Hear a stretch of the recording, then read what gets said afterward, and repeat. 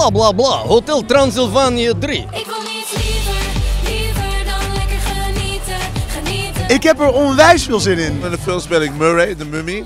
Ja, het is super tof om te doen. Ik denk dat het wel weer een hele geestige film wordt. En ja, wie wil nou niet lachen? Verliezen, verliezen,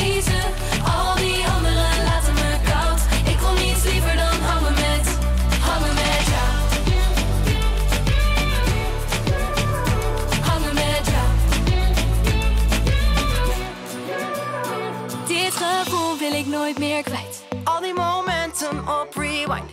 Denken we terug aan de tijd van toen. Willen we het nog een keer overdoen? Ik vond het een geweldige film. Verbluffend.